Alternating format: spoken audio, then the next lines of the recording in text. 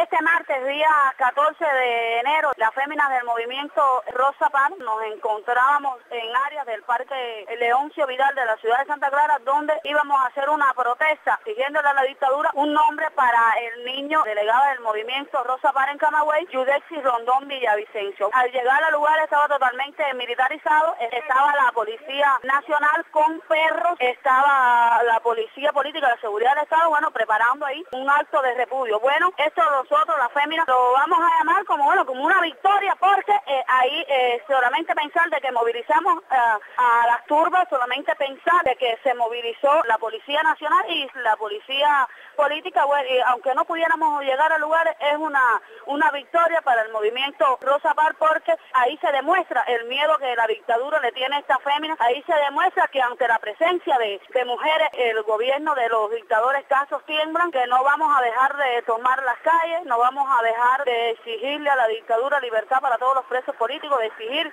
que a Yudesi Rondón Villavicencio se, se, le, se, le, ponga un nombre a un pequeño que hace tres meses que, que nació y bueno, aquí estamos, está el movimiento Rosa Par en la calle.